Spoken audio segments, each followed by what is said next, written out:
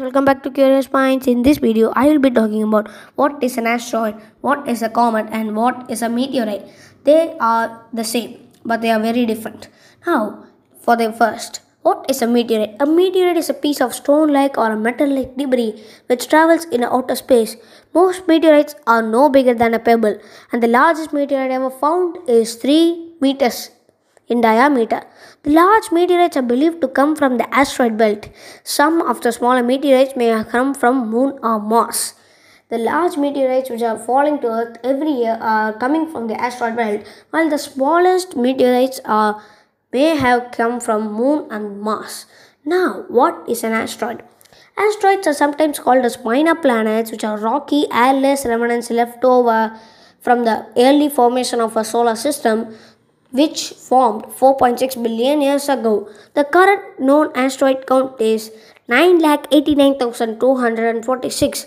Most of this ancient space rubble can be found orbiting the Sun between Mars and Jupiter. Within the main asteroid belt, range in size from Vesta, the largest at about 329 miles, which is 530 kilometers in diameter, to bodies which are less than 33 feet across, which is 10 meters across. The total mass of all asteroids combined cannot even make the Earth's moon's mass.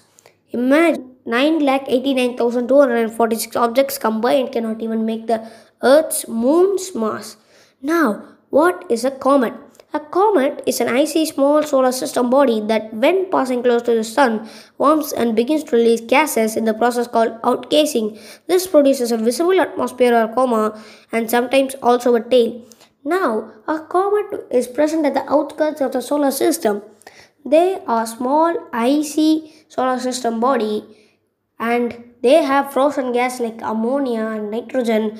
By, while a comet passes in front of the sun, it releases these frozen gases in the form of in the process called outgassing. So that's all I wanted to share with you guys. Hope you like this video. If you hit the like button and if you want more videos, don't forget to subscribe to Curious Minds. And if you have any ideas, comment in the comment box. Until a good video, this is Be Curious Mind signing off. Bye.